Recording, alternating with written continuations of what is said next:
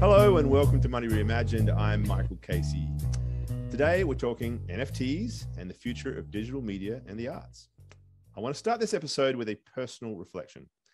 I've been in journalism for three decades, which means I'm of the generation of journalists that started their careers with no real knowledge of what this internet thing was all about. Yes, dating myself, of course. Many of us greeted the internet with at first confusion, then wonder, then sometime later excitement over the possibilities of the so called information superhighway. I profited somewhat.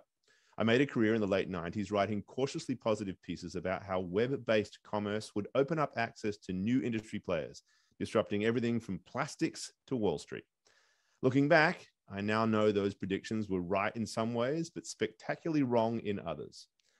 Into the new millennium, we moved from that optimistic Web 1.0 era into the Web 2.0 age, one dominated by social media and a few large centralized platforms Google, Facebook, Amazon. You know who I'm talking about. Over the time, this new data and advertising driven internet became something of a curse for a lot of journalists. It forced many, many newspapers and other media outlets out of business. I was in two minds about this business fallout. I saw the fresh competition from news sites, blogs, and citizen journalists as an unavoidable, legitimate challenge to the mainstream media establishment. Of course, it was easier for me to say so as I worked for a large newspaper that was able to weather the storm. But even at the Wall Street Journal, we found ourselves scrambling to produce ever more content just to drive enough eyeballs to the site to generate the ads that ultimately paid our salaries articles, blog items, podcasts, and live digital TV. We were just relentlessly on a treadmill. I became aware that the real challenge to old media outlets was not meet new media outlets, but that publishers no longer controlled the distribution channels, which were now managed and manipulated by a few powerful Silicon Valley companies. We no longer owned our audience, they did. To paraphrase Bruce Schneier, we had become Facebook's product, not its customers.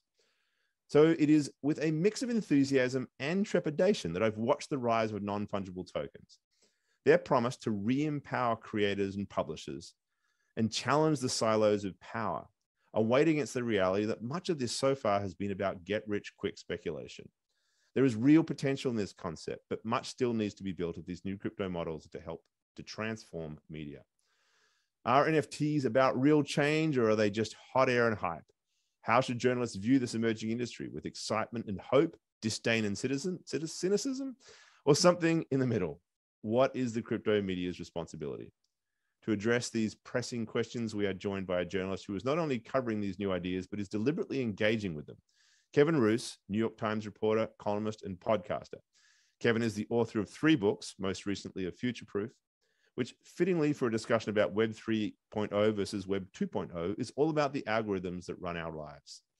He became well known in crypto circles for very early on selling an NFT of one of his columns uh, with success that surprised everyone, including Kevin. But before we welcome him, let's say hello to my co host, Sheila Warren. Hi, Sheila. Hey, Michael. So I'm just going to say I'm happy that for once uh, the journalists in this discussion are outnumbering the lawyers. Uh, it was it was inevitable. It had to happen at some point. You tried for I remember you tried for Aussie parody at one point, but the reporter That's to lawyer ratio has never really got in your favor. I, I well, I will consider myself the vocal minority for this episode today. A lot to learn about, starting with this distinction that I don't necessarily think about all that much about content creators versus distributors, which is really kind of core, I think, to the, the conversation we're going to have today with Kevin.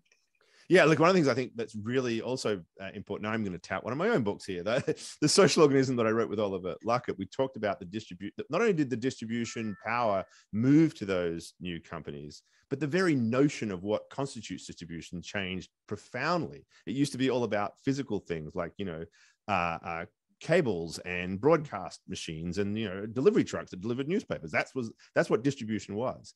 But now it is a social network with all of the problems that come with all of that like how many followers you have and how many likes you get that's literally distribution. So the paradigm is completely different and it comes with it as we all know many many problems. But um, on that note it's actually a pretty good segue i think. Why don't we bring kevin in? Kevin Roose thanks for joining us. Thank you so much for having me. So why don't we talk about future proof because i think that some of the stuff we were just talking about there you know, and I confess, haven't read the book, but I heard lots of great things about it. And, you know, certainly this idea of the algorithms that rule our lives is is pertinent to this idea, right? This distribution system is this sort of it's algorithmically driven, behavior driven activity. What did you seek to sort of say in that book, and what are the lessons that you've learned from it in terms of how you go about viewing the world now, as, as it were? Sure. Well, I'm happy to talk about the book some, and then I want to talk to you guys about crypto because I have questions we'll for there. you too. So we can do mutual interviews. um, so the book is um, was written um, over the last couple of years. It's really a guide for human survival in the age of uh, intelligent machines. So uh, a few years ago, I got really freaked out by all these sort of talks and books and prognosticators saying that you know automation and AI were going to take away millions of jobs, that we were all going to be unemployed, that robots were going to surpass us in every you know area of human achievement. Um, and I started getting sort of worried for myself professionally, but also for a lot of other people. And so I decided to go out in search of a plan. Like, what is our plan collectively as human beings for um, for sort of staying ahead for becoming you know more resilient to technological change for not being sort of made obsolete in the ways that people have feared. And um, what can we do on a personal level as well as a collective level to become uh, future proof tm um, and uh, and uh, and so the now is, we, we do have a lawyer in the room after I was gonna say, well done, well played. Actually, I don't have the trademark on that because I also just I got invited the other day on a podcast uh, called Future Proof. So there are there are, there uh, and I also saw when I was There's in the airport recently, the newest episode or the newest issue of the Harvard Business Review is called like the Future Proof Organization or something. So I wish I had taken out some intellectual property rights, but uh, sadly I did money, not. Money reimagined. I think like Capital One has got something on that. I think that's right. banking Reimagine yeah, we, we do what we can. we know what we can. Yeah, yeah, yeah. Anyway, yes. So yeah, so you, we are being future proofed. Uh, and you're, you're, sort of helping us get ready for this this world uh, and and and deal with it, right? Well, and I I, I started writing this book before I really got sort of uh, you know obsessed with crypto so it's it's sort of my my attempt to puzzle through th- some of these themes like what does it mean that algorithms now make all kinds of decisions for us about you know what kind of music we listen to what TV shows we watch, what um, you know, in some cases, what clothes we wear, um, what brands of things we you know we surround ourselves with on Amazon and things like that, um, and also more serious decisions. You know, who's eligible for government benefits, um, who's you know getting pulled over and stopped by police, and that kind of thing.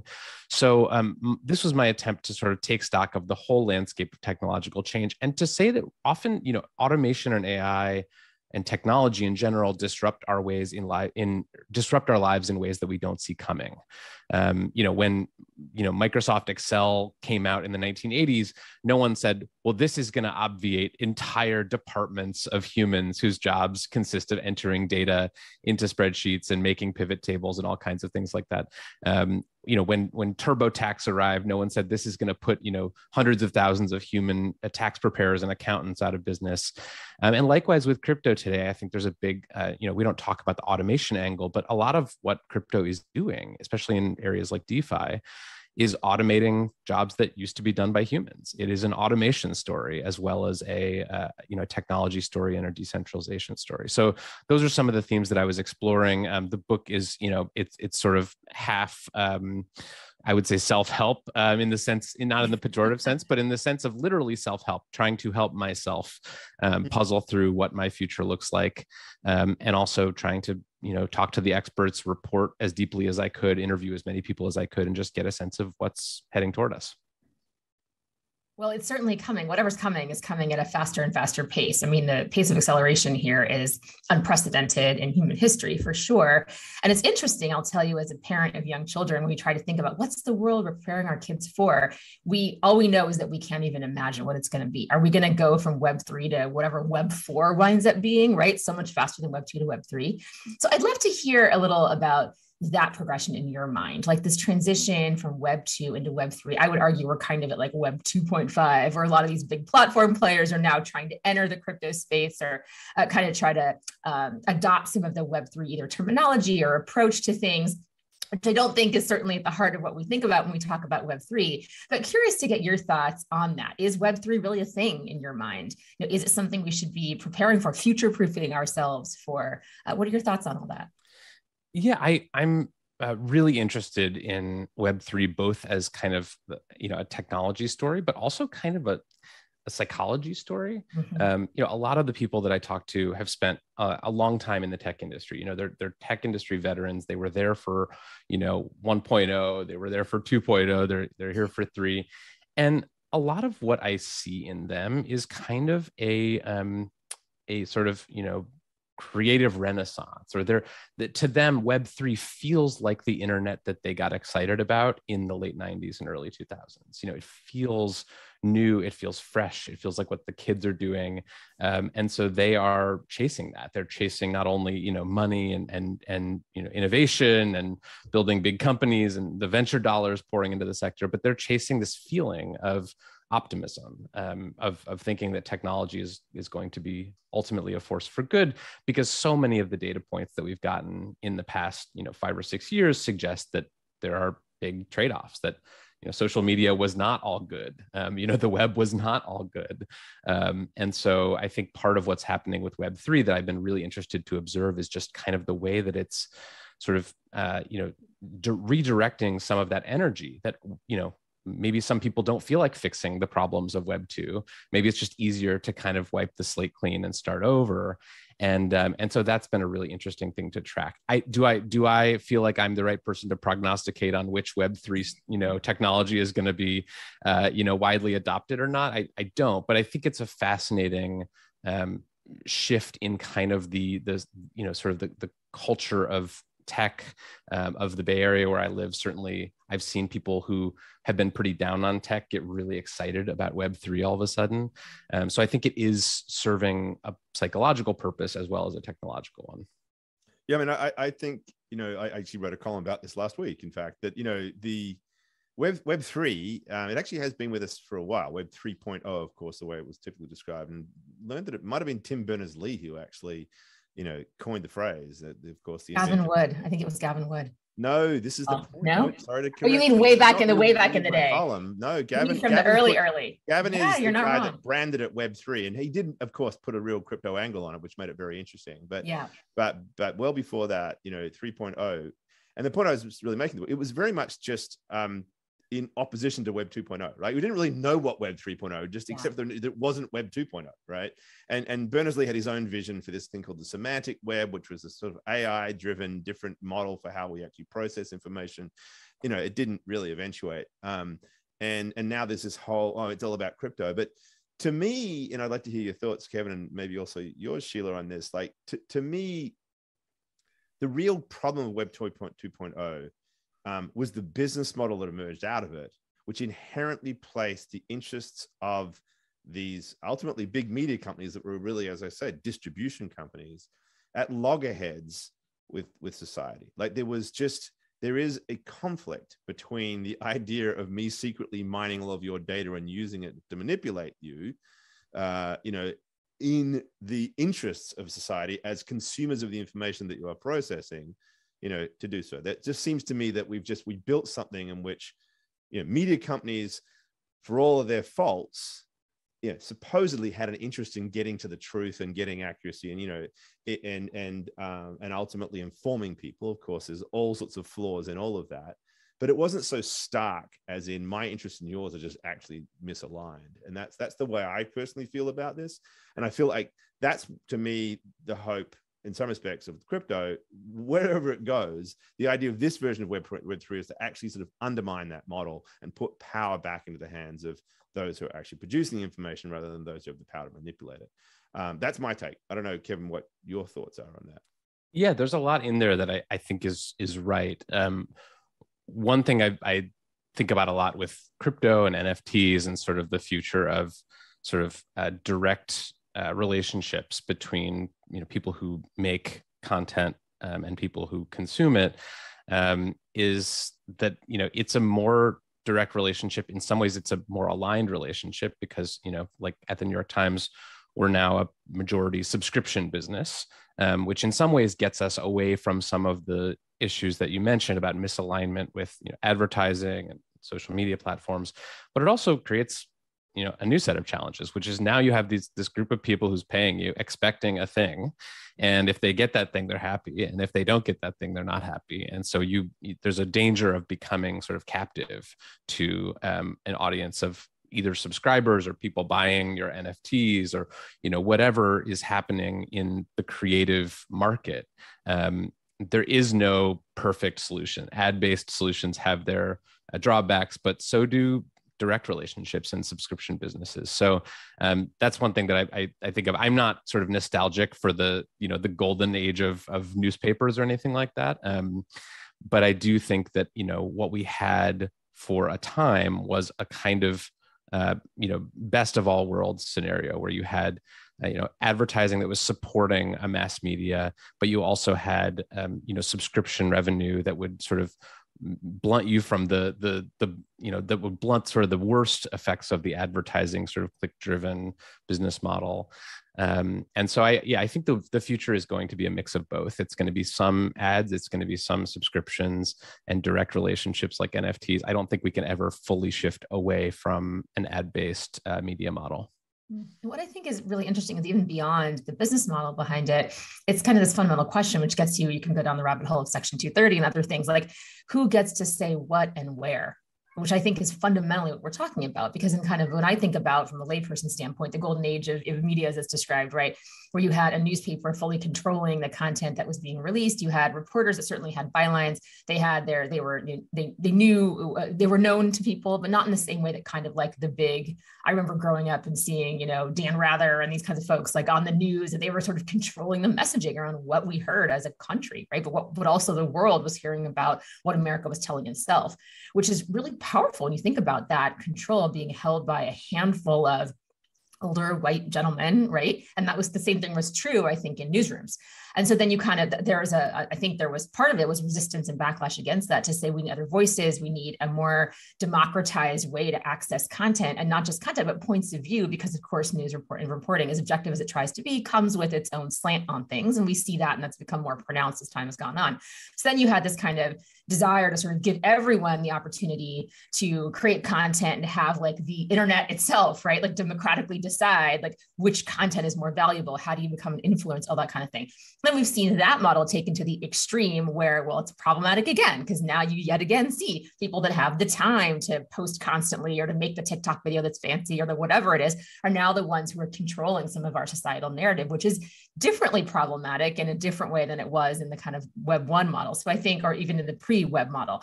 And so I think that when I think about all of this, it isn't even so much about the ad or subscription or whatnot. It's like, how do you get enough followers or, or, awareness of who you are in a saturated environment to even create a subscription model that could be financially remunerative enough for you to actually survive off of that, right? And keep creating that content. And as we get more and more people entering the workforce who think about this as the primary way that they digest news or content or media, it gets even more crazy. So I see some of that already being replicated in NFTs the idea that like the cooler you can make it or whatever it might be, you get more of this, the more exclusive it can feel. And so I'd be curious, uh, Kevin, to kind of hear about because you dove right into this. Curious to hear about your NFT experience and if you did you come up against some of these, whether models or or the exclusivity of the whole thing, or, or how did that all play out in your mind? And also, just as a general matter, like talk us through the story. Like, what made you decide to release an NFT in the first place? I'd love to hear that part too. Sure. Um, well, it was sort of a, a, long process, but I, I got interested in NFTs sort of earlier um, in 2021. I think the the Beeple sale had just happened. Um, you know, the 69 million dollar sort of Sotheby's sale or was it Christie's? I forget. One of the big auction houses sold, you know, some of Beeple's art for $69 million and everyone sort of stood up straight in their chairs and said, excuse me. um, and, uh, and so I remember seeing that and thinking, well, this is fascinating. And I want to find a way to both explain um, what is going on to our readers, um, because that's an important part of my job, and to figure out for myself, like, what are the promises and you know maybe pitfalls of this new you know technology. So i came up with the idea that i would write a column sort of explaining nfts and the whole phenomenon and what they were and why people were interested in them and then mint that column as an nft and put it up for auction. And uh, this was sort of like a stunt i, I admit um, and i you know told my editors that i wanted to do this and they're they said excuse me can you start at the beginning? And i had just i will let you guess at the number of meetings that i had um, in preparation for this and the lawyers got involved i'm sure. I'm sure. Whatever number you're thinking of for meetings it's higher than that. And um, and so eventually i get the sign off uh, you know they say you can do this. The proceeds will go to charity. The, the new york times has its own charity called the neediest cases fund. And so we said you know any proceeds we make go to there. And i'm thinking in the back of my mind well this is all moot because no one's going to buy this thing because who the hell wants a you know jpeg of a newspaper column that they can read for free on the internet? So um, you know in slack there's some great uh, records of uh, you know my colleagues just like absolutely dunking on me for thinking that this was going to get they're like you think someone is going to buy your yes. you know piece of crap column for you know I, I remember i set the reserve price at like half an eth which at the time i think was like you know 800 bucks or something. And um and they were like you think someone's going to pay $800 come on. Like who do you think you are? So they're taking bets on how little it's going to go for and the auction um, you know goes up and for a while there's nothing. And you know some people start you know bidding like you know the, the minimum and um, and then you know the next day I wake up and there's like been this total bidding war, and um, you know it's gone up, you know, from you know uh, 10 ETH to uh, you know 50 ETH to 100 ETH. So finally, it closes out at uh, 350 ETH was the final sale price, which at the time was about $560,000, and today I think I checked it, it's about a million dollars. So, um, so I had uh, you know, all of a sudden I had like 350 ETH uh, just sitting in my wallet and um, and had to figure out what to do with it, which was another whole process. But um, but it, basically, it was a way for me to kind of experiment and write about the experiment, and um, and that's always been a kind of journalism that I really enjoy is just jumping in and um, and talking about it from the first person perspective. So that was a real wake up call for me, and that sort of sent me, um, you know, down the rabbit hole, as it were, um, on crypto and NFTs and Web three, and just started me like kind of becoming obsessed with and learning as much as I could about them. I mean, I, I listened to your uh, another podcast, the New York Times Post, the Daily had you on to talk about this. And what I really liked about it was the conversation that you had from there, thinking about, okay, what did this person buy? Like, what is the actual value of spending, you know, what was then five hundred and fifty thousand dollars on on this thing? That, as you point out, you can quite easily read on the internet. It's a JPEG. It really doesn't have any utility in that regard. And I think you came down in an area that I tend to agree with you on, which is that there's this something about bragging rights and and and the firstness of things and the ability to have that certificate of being that one and the collectability of all of that. And and much of our economy does depend upon that sort of stuff right? So i don't know just maybe break that down a bit further because you've obviously given it some thought. You're like why on earth? Like you were literally you know the recipient of, of, of that that sort of mindset or whatever it was that was driving the urge for somebody to spend that much money yeah, I did. I, I, went back to a lot of the bidders in the auction. I just sort of called them up and asked them, like, why did you do this? Why? What was? What was? What was? What, what got into you? I know um, this is um, awesome, but why did you think this was awesome? right. Um, and so the answers I got ranged. I mean, some people said, you know, basically like this was, you know, I, I considered this a marketing expense for my crypto startup or my art project or whatever. Um, if I could get mentioned in the New York Times, that would be worth whatever I paid for it. Um, but at the high end, the people who actually sort of you know won the the bid and we're sort of bidding you know hundreds of thousands of dollars worth of, of ETH for this NFT. You're right. It was more about sort of bragging rights. It was being the first. It was having a potentially you know historically important NFT, the first you know New York Times NFT. Might, you know they thought might be worth something someday. Um, and I always find this criticism of NFTs really strange. Like there's always this knock. Well, it's it's just showing off. It's just mm-hmm. bragging rights. It's just people seeking to display their status or their wealth or whatever with their CryptoPunk or their Bored Ape or whatever. And like, I always go back to this like question of like, well, how much of the economy runs on rich people showing off? Um, and it's actually a surprising amount. Um, the third richest man in the world is a man named Bernard Arnault. He's right after Elon Musk and Jeff Bezos, the third richest man in the world. And he's the chairman of the Louis Vuitton Moet Hennessy Company, LVMH, uh, a company that is, for all intents and purposes, exclusively selling rich people status objects, uh, you know, fancy handbags, uh, you know, designer liquor, um, all kinds of you know fancy products that normal people can't buy, but that rich people love to buy to show off their status in part. So a huge part of the economy runs on this. And so even if that's all NFTs were, and I don't think that's all they are, but even if you take the case that that's all they are, that's still enormous. I mean, that's a that's a huge part of the economy. And I think we need to pay attention when people, you know, when rich people start signaling their status in a new way, even if we don't totally understand it at first. I mean, I, there's a, you know there's a sneaker industry and a luxury bag industry that would absolutely support everything you're saying. I'm in this group Facebook group, funnily enough, of lawyer moms, and there's periodically conversations about how do you get some of these items. And there's just this whole conversation that happens like, why do you need that thing that costs thirty thousand dollars, or you know, how do you? How, and it's it's it's hilarious some of the flexing that happens, but also just some of the very very wealthy people who are like, oh, this is just something that I take for granted, and it's a, way for me to kind of enjoy this thing, but also kind of demonstrate that I have certain status.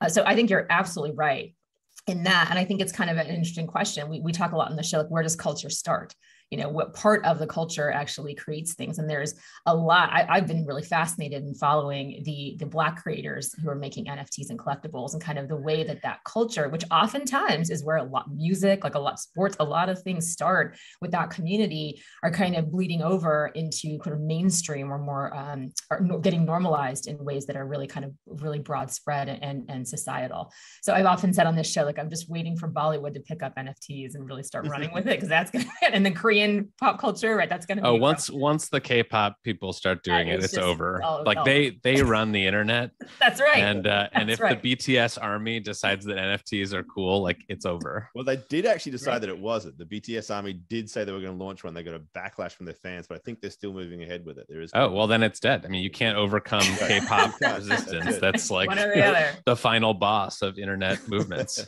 yeah, but I think there is so much about this that is about culture, and it is about you know what we what different pockets of our society value. And so there's the luxury goods market. There's also like you say hip hop culture right? No joke. I mean there's a lot of power that comes from that community.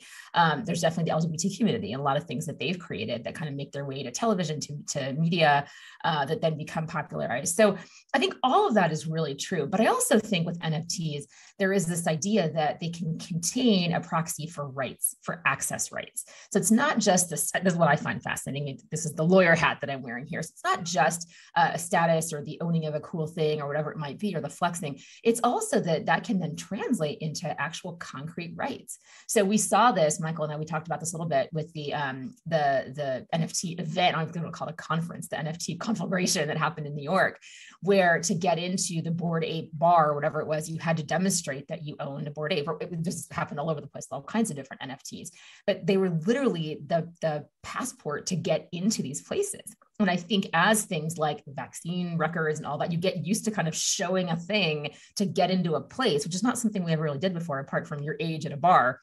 I think we're going to see more and more of this concept that what does an NFT translate to in terms of rights? This is even more compounded when you think about the metaverse. So if you're running around the metaverse and then you hit a wall, that wall, the, the access to that, whatever that room is, whatever that part of the metaverse is, is probably going to be dependent on some kind of record, which is most likely going to be an NFT. So all of this, I think, when you when you look at it in the context of property ownership, legal rights, what actually is it that you're owning intellectual property wise is somewhat secondary to the access it's going to give you, not only to flex, but to be around people that similarly value that same thing. Totally. So, yeah. So so let's let's transition in a little bit into the metaverse, which certainly is something that I don't know that everyone makes all these connections to Web3 and the metaverse. And some people think these are terms of the same thing. I think they're a little bit different. I think of the metaverse as kind of um, digital property, like digital. There's this whole, there's this hilarious thing I saw that I can't remember where I saw it. It came down that like someone's creating something called crypto land. Have you, have you ever heard about this? Crypto land. There was this like big piece that came out probably on medium i'm not quite sure i'll try to dig it up. But basically it was like there's going to be this place called crypto land and getting in is going to cost this amount of money which is an absurd amount of money. It feels a little Fyre Festival to me to be honest. But then there's this whole question oh, it was in the ft that it, what does that mean? There's going to be bars, there's going to be uh, salons, there's going to be private islands within crypto land, right, to get into. And so when you think about the metaverse, is that the use case that you imagine? are you thinking more of like the gaming environment that everyone's more familiar with, when you're kind of moving around, collecting things, having battles and whatnot? And how do you see gaming connecting into this entire conversation around Web3? Let me land the question there for you. Wow. Um, that's a great question. I also would really love to go to crypto land for a story. so if any uh, if anyone wants to send me to the South Pacific to uh, hang out in crypto land for a while, if any editors of mine are listening, um, safer love... than going to you know to Baghdad and the exactly. I mean, exactly. what could possibly go wrong? exactly. Although I say that now, and then you know I'm the guy at Fyre Festival who's like eating ham sandwiches in this you know the, the FEMA tent. Um, so I, I think about the metaverse as being less about sort of a set of technologies and more about sort of the merger of our online and offline selves. Um, and I think that this is already happening to some extent. I, you know, I, I, um, I, I, uh, you know, went on vacation once to a, a resort, um, and it happened to be the same week that a bunch of like Instagram influencers had been invited to like stay at this resort and take a bunch of pictures and do free marketing. And you know they were getting these comped stays at the resort. And it struck me as like a really interesting uh, moment of like the culture that these people or the the capital that these people had accumulated on social media all these followers these reputations were sort of allowing them to do things just to your point about access like in the physical world um, that uh, that they wouldn't have been able to without those those credentials. But i think that you know the metaverse is sort of a state of mind. Like we all um we all have online selves and offline selves. And i think as those online selves become more um sort of more forward in our conception of who we are um, become a bigger part of our identity i think that that's that you know that's moving to the metaverse whatever to me at least. Um,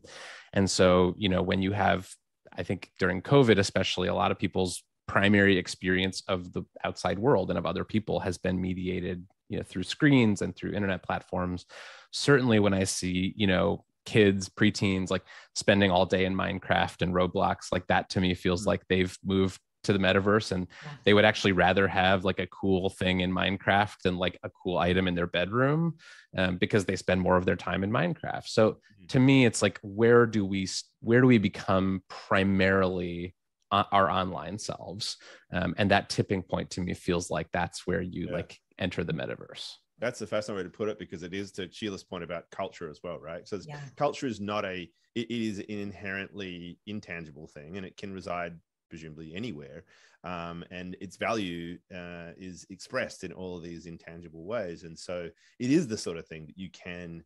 Um, you know, to, to this idea about the bragging rights and the showing off rights, right? That I can do in a metaverse environment it's not the place I can sit at a bar and enjoy a martini, right?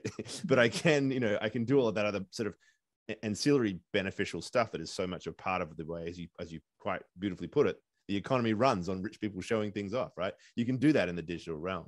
So I, I think that's a really important important point. I mean, one of the things that I find, and I just both of you maybe weigh in on this, but I I'm excited about NFTs for what I've I see them as the building blocks of property rights. They are Sheila, you talked about being a proxy for property rights. I think in a purely on-chain environment, you could say that because they right of access, yeah. they give that. But like once we start trying to translate external aspects of this, and I have to be careful because a company that I helped found is working on what we think is the right solution to this problem. But the you know this drawing the link between the real world and this NFT world, there still needs to be a lot of legal con, con, construct Absolutely. around what those rights you are. Still need lawyers. You still need lawyers. you still need lawyers. lawyers. And they're going to have to come up with very clear ways to tie those NFTs to those usage rights. And so that if I do get exclusive rights to Kevin Roose's column and there's a way for me to take it down, I'm able to actually execute that. And we don't have that right now. But when we get there, it is a, NFTs, I think, are the building block for this. And, and that's really, really important because property rights, the right to, you know, and it's about right of control. And it's not just about ownership, it's really just as much about what can I do with this thing that I have exactly. this right to? Um, is the building block it, it, you know whether we like it or not right it, you know we sit on the left right divide on these issues it, it's been there at every moment in history when there's been these leaps so the magna carta was the moment when you know the aristocrats uh, you know yep. basically told the king that they weren't going to take it anymore and they were going to stand up for their rights as noblemen you know it's it's there at the sort of the dawn of of uh, the, the, the stock the stock market with the with the VOA and the the uh, the Dutch East India Company and the arrival of stock rights. It's there when Deng Xiaoping uh, basically kicks off the Chinese growth story by giving property rights to to homeowners within the Chinese population. So, and, you know, this is um, this is an under De Soto's big thesis about the mystery of capital that it comes from the ability to actually express and then work on those rights and execute upon them. And he was always talking about mortgages and things like that as being a form of that. We have had no means to do so in the digital realm because there was no such thing as digital scarcity. I could just repeat anything. There was no re- capacity to say this is a unique digital artifact, and now there is. And so the idea that this this thing, the digital economy, which was already such a huge part of our lives, could now have a building block upon which to exert that same powerful mechanism that history has shown to me is is really really important.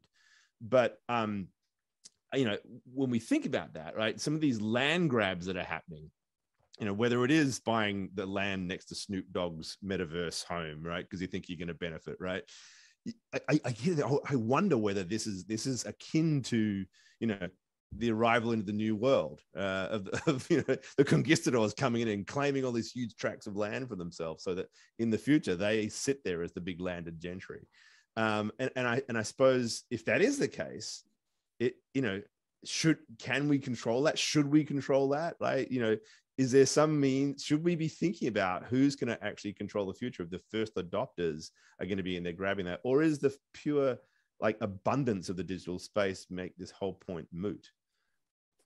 I mean, I yeah, I uh, well, Sheila, I'm interested to hear your thoughts on it too. But I, you, you know, I, I, I think this is one of the thornier long-term issues for crypto and Web three, which is that you know, right now we have sort of the internet is kind of the exception to uh, a lot of sort of societal rules about capital ownership and rights, and it's sort of this like place where um, you know any teenager in Delhi can speak with the same authority and the same you know tools as you know a very wealthy American CEO. It's sort of a, a level playing field in that way. And I don't want to idealize it and you know say that there's nothing wrong with it, but it does have this quality, of the internet, of being um, sort of free of some of the scarcity um, that defines the offline world. And so when I hear people talking about, you know, property rights in the metaverse and you know how do we uh, you know ensure that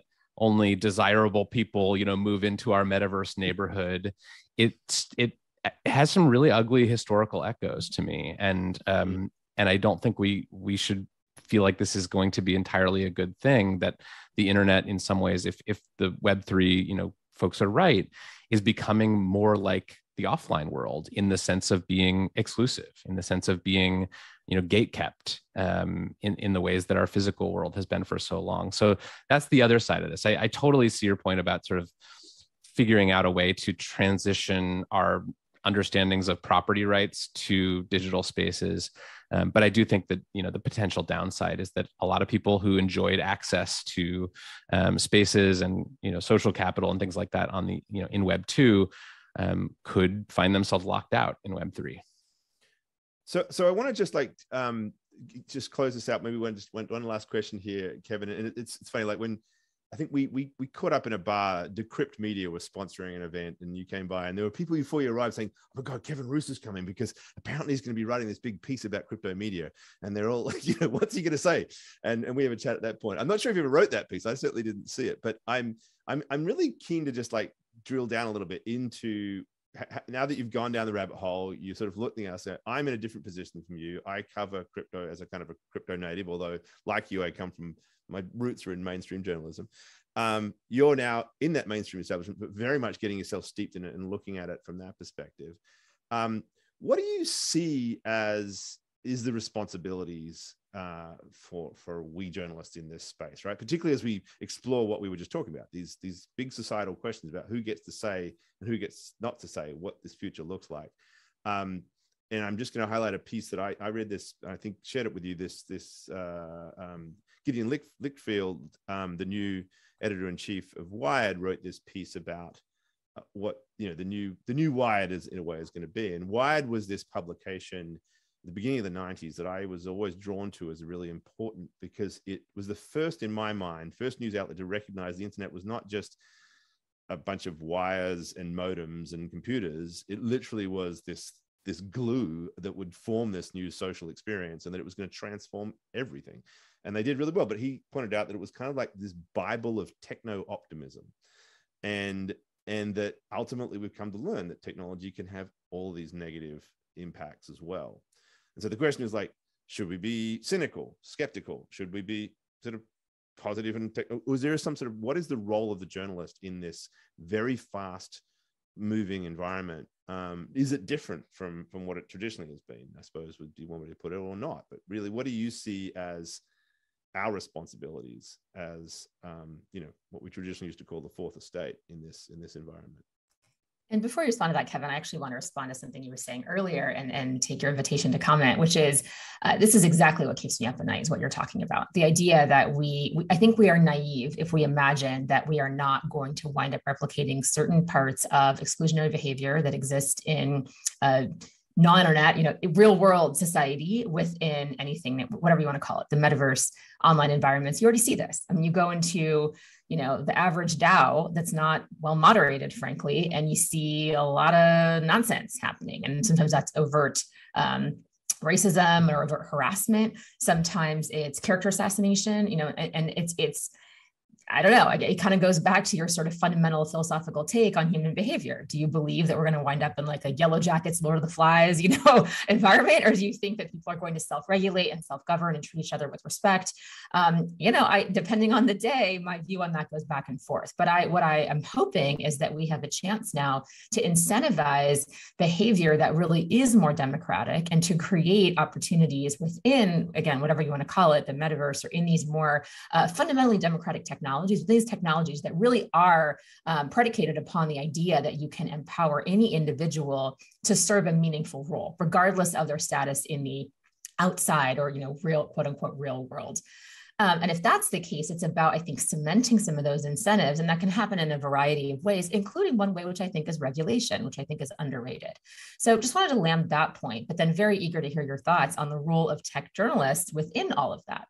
It's a really good uh, topic of conversation and one that I'm sure we could, you know, spend eight or nine hours on easily. But I, I do worry about this too. It doesn't keep me up at night. There's plenty of other stuff that keeps me up at night, but it, uh, it is something that I think, you know, the, the Web3 community needs to contend with early on because that's the time to shape these systems is when they're young. Um, and before the problems get baked in and intractable, um, as as we saw happen with social media. I think that the role of uh, journalism with any industry, not just crypto.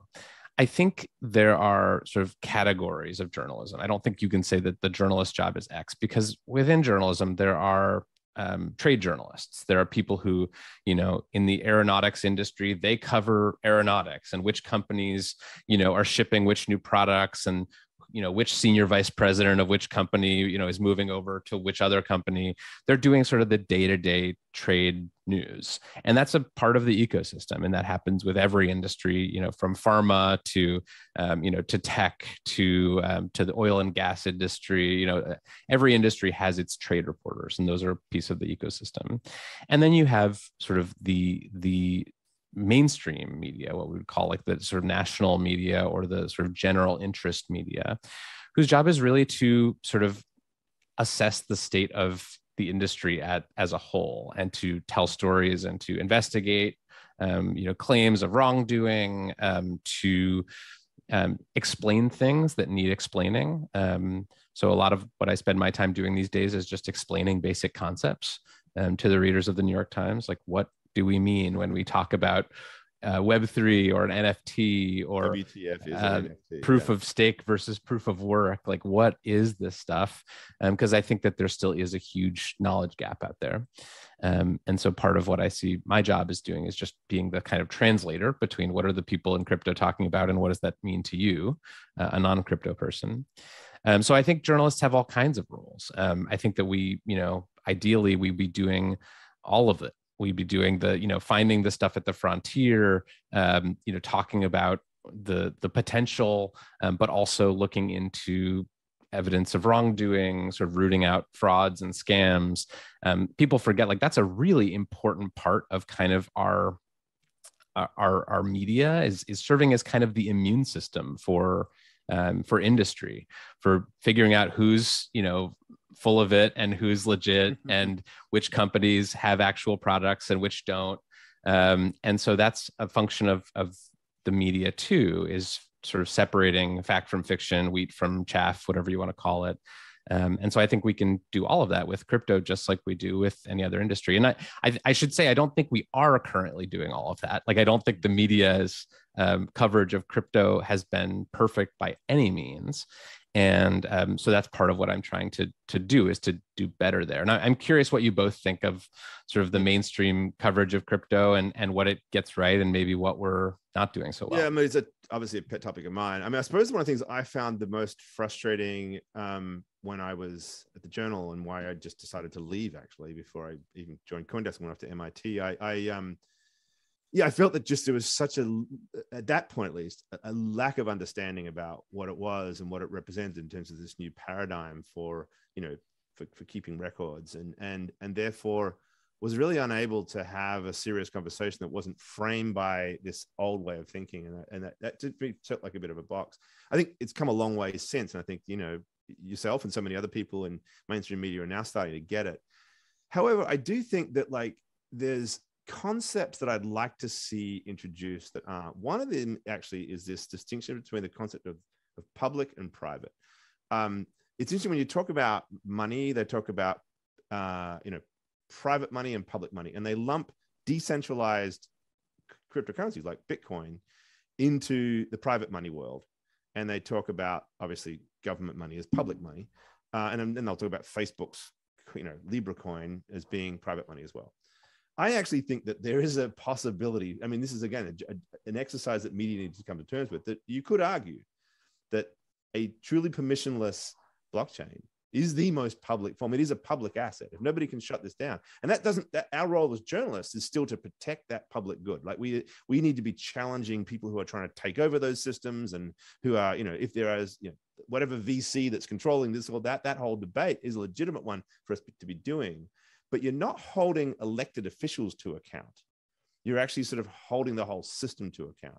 And in many respects, it is more public than anything else. And, and that I don't think has, has in any way been introduced into, into mainstream thinking. I think they see this as private. And, and it's just, it's, it's somewhere, it's, it's just a different thing, whether it, it should be called public or anything else it is not private and, and, and, in the sense of it being controlled by a single centralized entity and i'm really not sure that the public discourse has got the, the, the, media discourse has got its head around that issue. That's one thing that I that I really need to I think needs to change. And I'm just not sure how we get there.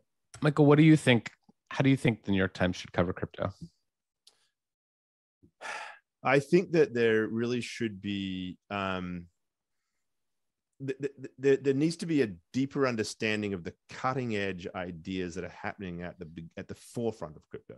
So, like talking to folks who are building things like knowledge, zero knowledge proof solutions and what that actually means for how we might deal with things like privacy, the trade off between privacy and the public interest, right? So the money laundering versus um, you know, uh, uh, uh, you know, the open access that, that crypto goes is often treated in this sort of very simplistic way. It's like, well, we got to catch the bad guys there, you know, and that's why we still have to have, you know, AML and, and KYC rules um, without really sort of exploring that. Hang on, there might actually be solutions out there that allow us through this technology to improve financial inclusion, but at the same time explore uh, ways to protect the public interest, the financial system, and so forth.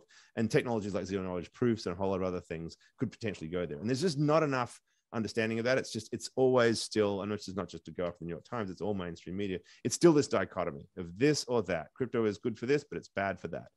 Similarly, the energy debate. Energy debate is all about it's just way too much energy, energy consumption with Bitcoin and therefore bad. And there's some truth to that. It's clearly got a massive carbon footprint. We've had a number of episodes on this show talking about this. But there's a whole other way of thinking about it that starts to talk about, okay, what do we do? What could policymakers do to leverage the? And then actually, there's going to be some hearings this week to talk about these things in Congress. But the the the the idea that there is another way of thinking about this, that you could flip this around and start to think about system design from societal perspective and, how, and why this technology as an open source system and easily freely accessible system really does change those systems. I don't think there's nearly enough understanding of systems, you know, exponential effects, network effects, all those things that are just fundamental to the really the world we live in, but are really important to crypto. I don't think that level of understanding exists across enough mainstream media to be able to pass all this and understand it properly. Totally. I mean, I think one of the macro problems with crypto journalism uh, writ large, and this goes far beyond the New York Times and, and far beyond any individual outlet. But I think, you know, the um, the objective uh, messengers are not credible, and the credible messengers are not objective. and so you have um, you know on one hand the mainstream media which is still writing for a mass audience where they might not they might need some prerequisites before they jump into you know zero knowledge proofs and and things like that they they need to take the 101 class maybe before they they jump into the graduate seminar um, so i think we'll we'll get there and we'll get more sophisticated but i do think there is this issue where you know the people who are the most um, settled on the frontier are are just hopelessly biased. I mean, cannot see for the life of them the downside of any of this. And so um, I think that we need to, you know, I don't think it would be a, a good move, um, you know, if we shifted to writing only positive stories about crypto. And uh, I don't think that would be good for crypto. Um, mm-hmm. And I don't think it would be good for our readers. But I think we do need to. I'm I'm curious in particular because I'm thinking about well, where should I be aiming my coverage? Is it to the person who has no idea about any of this? Is it to the person who, you know, maybe owns a little bit of Bitcoin and a little Ethereum, but doesn't really understand the, the sort of second layer, um, you know, concepts? Is it, uh, you know, should I be doing some of all of it? Where do you aim your coverage if you're me? So I'm, I'm curious. Do you, where do you think I should be aiming? Who, who is my audience? Yeah. Like, should I be aiming for, um, you know, the person out there who's never heard of any of this, or should I be assuming a level of fluency? Yeah. Well, I tell me how to do my job, please. yeah. I certainly wouldn't wouldn't assume a level of fluency. I mean, that's for sure, because I think that hardly anyone's really fluent in this stuff. And so I think, uh, and it's something that we we talk about on the show all the time, right? Like, who's the audience? Who are we trying to reach? And it's something I think about in the role I have at the forum all the time. Like, is is my I, I, talk a lot about my role as I see it being really to uh, help normalize crypto as one among many options. And mainstreaming it is someone else's job, but normalizing it, I do feel because I do think that uh, the I, think we've moved beyond the idea that crypto is for criminals, and if you use it, you're doing something shady or you're being crazy or whatever. I think we've moved beyond that as a society, but I, there are still risks that need to be talked about. And so I think I think what's missing, I think, across a lot of journalists a lot of outlets is kind of the, the a consistent broad frame. And what i think that frame is is that we are in a moment. And i think that there's not enough discussion about the moment. There's a lot of like crypto's everywhere. Why is it everywhere? There's a reason for that. And we're in a moment where the technology to michael's point does have the potential. I think i believe this truly. It does have the potential to create uh, to move beyond creating a digital replication of the current power structure we have in society. It, it, can do that. Is it going to do that? Is a really open question. In my mind, it is not obvious that's the way it's going to go. And what's happening now in the next, I would argue, like certainly five years, but even like the next two to three years, is going to determine whether the crypto ecosystem winds up just being a digital representation of everything that we think is flawed about the way the internet works today, the way the financial system works today, all of that. We're just baking it in yet again in another iteration, right? And story goes on. Or is it going to be something? Maybe it's not as radical as some people would want or as is potentially possible, but certainly there's an opportunity to do something that is far more about empowerment, agency, and true democracy. That is a point I think gets missed in all of the like, energy consumption, therefore bad, or criminals and ransomware, da da da. Like that's to me, that's like micro decisions, right? We're talking about systemic potential upheaval and change, or an establishment order that is baking itself into the digital environment. And that to me is the story I want to see more of. And if you think about that frame behind every piece that's written, right? Like, what then does the energy debate mean? Like, how does it affect energy companies? What does it mean for establishment players? That's not the same as having a conversation that's like Bitcoin, lots of energy, terrible for the environment, blah. Oh, greener options, proof of stake. Like, I mean, that's so that's just not interesting in my mind. You know what I'm saying? Mm. So that's that's what I think is missing from a lot of the of the pieces that I see. Totally. I mean, that that's one of the reasons whenever people tell me like, why should I pay attention to crypto like why do i care? I'm i'm a normal person with a normal job. I'm not a i'm not a degen i'm not you know right, right. not an nft flipper. Um, why should i care about this? Um, one of the things that i tell them is you know caring about this now understanding it now is the best way to ensure that it doesn't become a destructive force later. Um, future proofing you know, if you will What's that? Ah, exactly. Well, yeah. well, and I and I think about this in sort of autobiographical terms because I remember when social media was young. Um, I was starting out as a journalist, but I, I remember that most of the coverage sort of assumed that it wouldn't work. It was like, social media oh you know it's this fad um, people are going to get tired of seeing their friends you know brunch photos. That was a big thing. Like why do i care about av- people's avocado toast you know? People just assumed that all the all the punditry was like facebook will never make money um, twitter will never make money these companies will fail. Um, and that was sort of the dominant knock on them for a long time. And what no one was asking or at least not like people loudly in positions of authority was like what if this works super well Mm-hmm. What if it totally yes. it goes to 11, right? The like world. what if billions of people yeah. get on board? What if it elects presidents? What if it changes the way politics is done? What if it changes, you know, in, introduces thorny questions around free speech and safety and privacy and offline violence and misinformation? And like, I, I yep. just think that we need a strain of crypto coverage in the mainstream media that that doesn't assume that it won't work, but takes possi- takes seriously the possibility yes. that it will. Right. Yeah. It's very it's very quick right now to just dismiss and to see the problems as a reason to assume that it isn't going to work. And in fact, it, it, it, those two things can be quite separate, right? So yeah, and I, like I really take your point about like you know th- there is a risk, there is a problem with credibility of sources. I think it's particularly acute in um, what I see as crypto tribalism uh, you know, there's these token tribes and they're all obsessed with their token. And if you're not writing about them, you're obviously got some hidden agenda. And that's extremely hard to take them seriously because it's just such a such a narrow vested interest take on this. And token holders who are listening to me, you know who I'm talking about. Um, you know, it, it's it's just one of those. It, it makes it very difficult to take sometimes the whole industry seriously. But I will posit that there is this has always been so, right? There are always vested interests who are trying to distort the truth.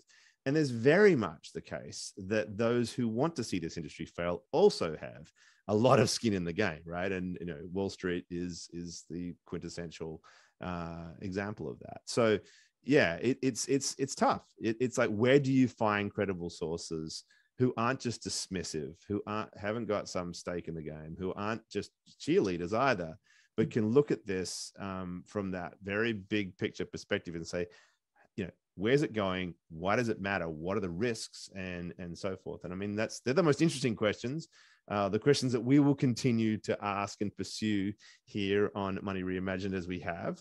Um, so thank you very much kevin for engaging in what i think has been more of a, a classic three-way conversation. And i've really enjoyed that aspect of it. Um, lots to think about let's talk about. Um, congratulations on on uh, on the books, on on on everything you've been doing in, in this space. It's uh, looking forward to seeing where it goes. So, again, thanks very much for for joining us. Uh, thank you, Sheila, as always, and thank you to all of you for listening. Come back again next week for another episode of Money Reimagined.